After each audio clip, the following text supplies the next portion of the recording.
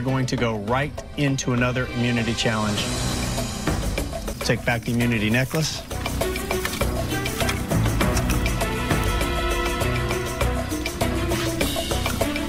Once again, immunity is back up for grabs. Everybody else is fair game. If you'll take this back and vote first.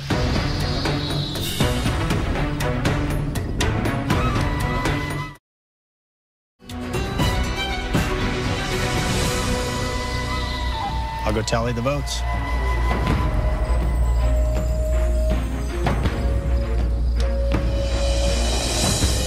Okay, once the votes are read, the decision is final. Person voted out will be asked to leave the tribal council area immediately. I'll read the votes. First vote, Carter. Morgan. Kat, one vote Kat. Carter, two votes Carter. Carter, three votes Carter, one vote Kat, one vote Morgan. 13th person voted out, the fourth member of our jury, Carter. It's four, you need to bring me your torch.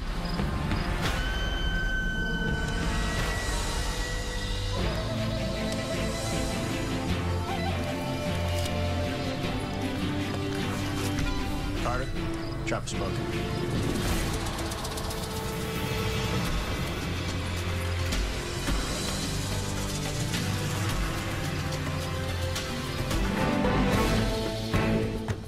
Well, given that nearly half of you received votes tonight, if there wasn't a reason to be paranoid before, there certainly is now.